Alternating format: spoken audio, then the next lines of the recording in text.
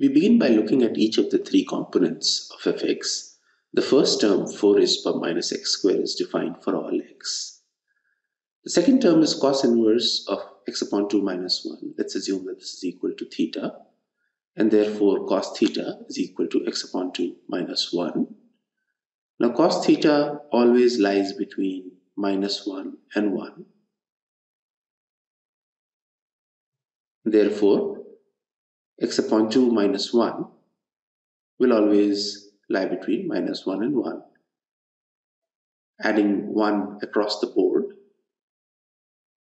we get x upon 2 is greater than equal to 0 and less than equal to 2 and therefore x is greater than equal to 0 and less than equal to 4.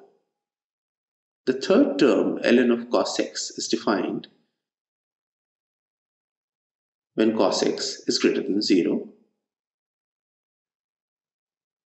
Now cos x is positive when x lies in the first or the fourth quadrant and therefore x lies between minus pi upon 2 and pi upon 2. Now we plot all of these conditions on the number line. The first condition is true for all numbers on the number line. The second condition is true when x lies between 0 and 4. And the third condition is true when x lies between minus pi upon 2, which is roughly equal to minus 1.5, to pi upon 2, which is roughly plus 1.5.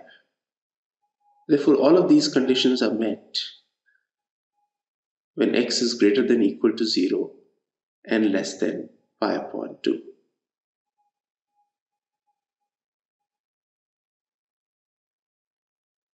Therefore, the largest interval in minus pi upon 2 to pi upon 2 for which fx is defined is x greater than equal to 0 less than pi upon 2.